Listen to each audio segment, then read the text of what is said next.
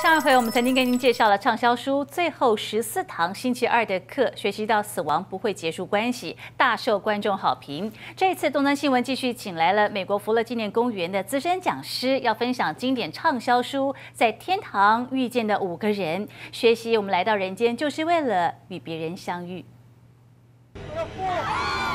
鼓励在美华人开卷有益。二零零三年的畅销书《在天堂遇见的五个人》，看主人翁 Eddie 如何在因缘巧合之下遇上天堂中的五人，看他们如何影响艾迪的一生，或者被艾迪改变人生。类似的经验，对美国福乐纪念公园的资深专员来说，就是多一份体贴与关怀。生前规划呢，通常你会以为是一个人的事，就是我的事我来办哈。其实呢，家庭成员每个人都可能有他自己的想法。那好像比如说，有一些人想要说，呃，要火化，然后呢要去撒大海，可是呢没有想到小孩可能是想要有一个地方去看望他，所以后来呢就。呃，在家里商量一下，就发觉，哎，其实那个不是大家想要的做法。虽然本身是想要去撒海，可是为了尊重家人，有一个。去怀念他的地方，所以呢，结果就会说哦，决定还是来富乐纪念公园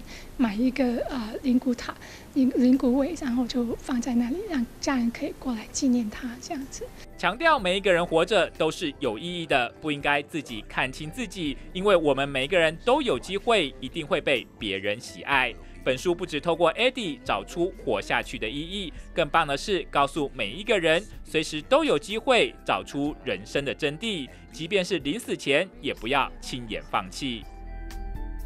这个情况蛮多的哈，因为我们除了帮预先规划的话，也有帮一些啊，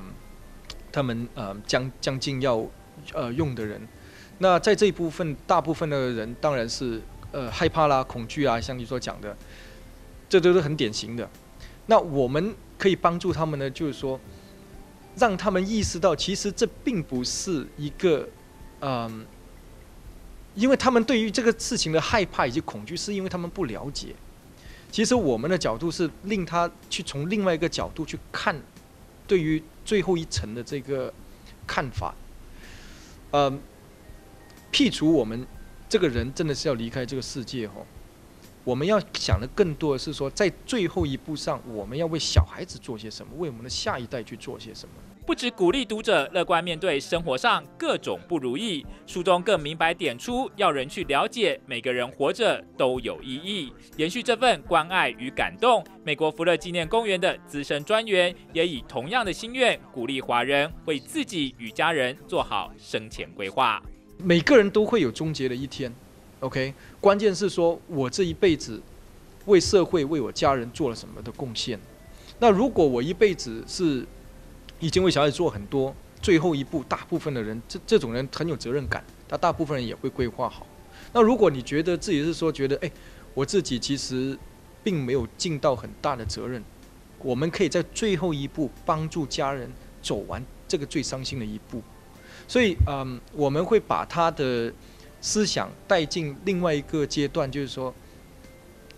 忘记说我们现呃最悲伤的这一部分，而是说，我们怎么为家人去想，从爱这方面去引导他走到一个更好的方向。分享畅销书与观众心灵对话外，美国福乐纪念公园百年来更打造出三大镇馆之宝：最后的晚餐、基督被钉十字架以及基督复活。要延续创办人伊顿博士的心愿，艺术可以升华灵魂，以及每一个人都值得被尊重。与其我们去怨天尤人，不如去帮助周围的周围身边的人，把我最后一层去，把我最后的生命去呃去。绽绽放，去放开，让别的人去得到更好的东西。那嗯，当然呃，有一些人是可以听，有一些人会想了之后会改变想法，有一些人还是挺固执的。不过我们能做的就是说，我们尽量去啊，让他从另外一个角度去看着生命的另外一段。我们福乐纪念公园其实我们的 basic 的一个概念呢，就是说。对每一个家庭成员都是像我们自己的家庭成员一样，哦，他们的意愿就是我们的意愿，所以呢，通常会遵呃遵呃